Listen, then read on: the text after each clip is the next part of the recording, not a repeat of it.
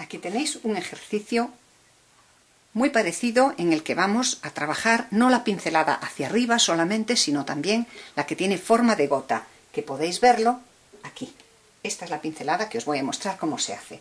Primero hacemos lo mismo que antes. Levantamos nuestros tallos de abajo arriba en trazos rectos. Probáis simplemente cualquier tipo de trazo. Y ahora vamos a hacer la pincelada en forma de gota. Para ello tenemos nuestro pincel eh, estrecho, el más estrechito, cargado en un lado de blanco y en el otro de morado.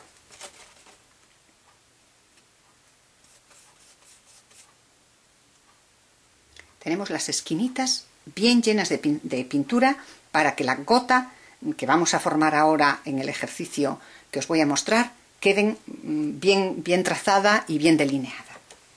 Estos son los ejercicios, ¿veis? Puede ser ligerita o poniendo más presión y recogiendo. Ahora vamos a intentar hacerlo aquí. Empezamos por las más pequeñitas. Cargamos cuando nos hace falta, porque la pintura ya la tenemos escasita en el pincel. Y seguimos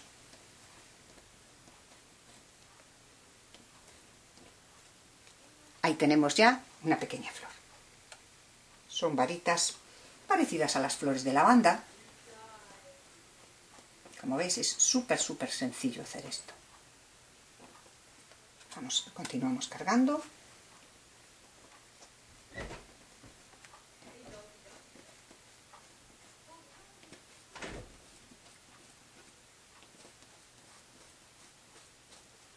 Y aquí está.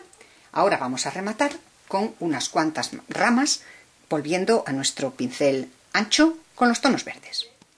Bueno, ya tenemos aquí nuestro pincel listo, bien cargado con sus dos tonos, y vamos a levantar también en movimiento vertical y hacia arriba, perpendicular a la hoja,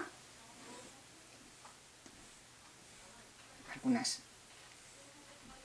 ramitas